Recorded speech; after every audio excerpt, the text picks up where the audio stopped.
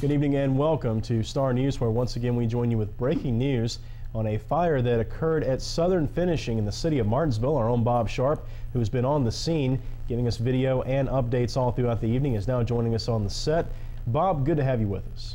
It is, Scott, and this is good news. I, don't know what kind of damage was done, but you can tell from the initial video, obviously there was quite a bit of smoke in and around that area, but I'm sure the quick response from the fire departments and volunteering personnel were very um, um, just you know you know how they, when you're that close and they get in there and these folks another thing I think you know and you and I talked about this last week one of the differences this plant being that well occupied so there were people in there and that probably helped them to discover it maybe quicker than the one that we saw last week and how much damage that did. Indeed, that makes a huge difference. Uh, you've got well a couple of major things I think working to the advantage here in this case. First of all, as you said, this is a currently up and running furniture manufacturing facility. That means you've got personnel in there who are actually on shift working. It also means that you've got up-to-date fire suppression apparatus within the building. Um, I'm not sure of this, but I would think probably some kind of a sprinkler system there. You're going to have uh, fire extinguishers, which are up to date and have been checked and tested uh, ready to be used by personnel. And I know that there are uh, employees, supervisors and employees in furniture plants that are trained to deal with small scale fires.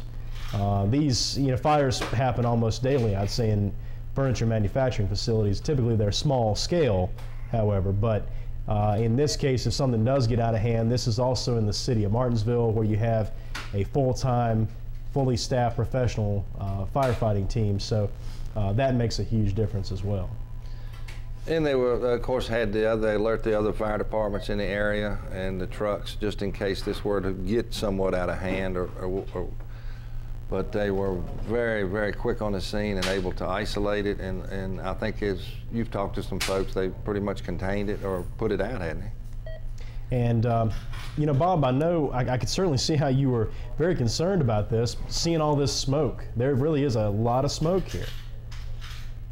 It really was. It just looks like it could come through the roof at, at any time. And it, probably a lot of that smoke is where they're inside putting some water on and extinguishing it too. And that's something we see a lot, particularly with um, fires that are in an enclosed area like this, and I think most especially with, um, with furniture fires. I know in my time working uh, here covering news with the station, also when I worked for the city of Martinsville, I uh, went to a number of fires at furniture facilities and in large industrial buildings like this. And often you'd get there and there would be so much smoke you couldn't hardly see the building, you couldn't see uh, anything inside. You think, wow, this must be a big fire. And then you get in there, and once they finally get it under control, there's like, you know, one or two machines that uh, are, are damaged badly, and everything else is pretty much fine. So, um, seeing this, I could see how anybody from the street would be very alarmed, but as uh, we're told, it seems that this was uh, brought under control pretty quickly, and the uh, blaze itself was mainly contained to a small machine containing lacquer in the finishing room of this facility. And of course, while this fire was going on, we uh, heard the alerts, and one of the Dyer Stores uh, trucks had to be pulled off to um, their, their uh, church there in Axton off Stony Mountain Road. And our own Jessica Robinson, I should mention, is uh, working on that right now. We are expecting some photos here in just a moment uh, from that scene, and she's going to give us some updates as well. Uh, we understand uh, a potentially pretty bad fire there at that uh, church on Stony Mountain Road. We're, we're being told now, we haven't 100% confirmed this, but we're being told now that uh, we believe it's the Morning Star Church there on Stony Mountain Road. But um, Bob, you know, I'm glad that we didn't see anything like we saw last week. That's for sure. Uh, that was that was some intense fire last week, and um, thankfully, you know, here we've got uh, people working, which is a positive thing. We've got a, a plant that is staying open despite the odds of an economic downturn and offshoring and all this. The last thing we want to see is anybody put out of work. That's for sure, and there were a lot of employees there that uh, um, were evacuated and you, I could just tell it, sense that they were concerned, and they wanted to, you know, just see how bad it was because it could certainly be detrimental to their job situation. Indeed, um, we were able to talk a little bit with uh, officials from uh, the city about this fire. I, I know that things are pretty busy, they're pretty hectic when you're on the scene. Uh, did you have a chance to speak with anyone while you were out there? Not of- officially. Uh, we did talk with several of the employees.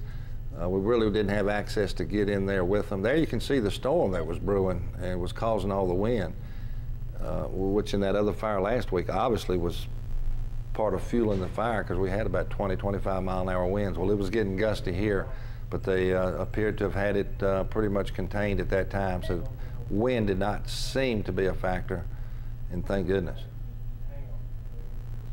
Mm, indeed. Well, Bob, we certainly appreciate you bringing us these updates.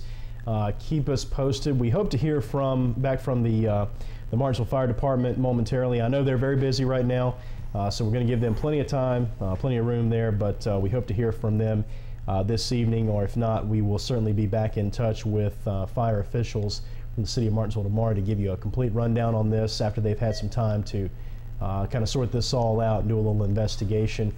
Excellent job there reporting from the scene and bringing us that great video, Bob. We appreciate it. Yes, sir. All right, folks. Bob Sharp there uh, has been bringing us footage all uh, throughout this fire and keeping us uh, posted with updates. We certainly appreciate that. And we'll be back with more breaking news right here on Star News in just a moment.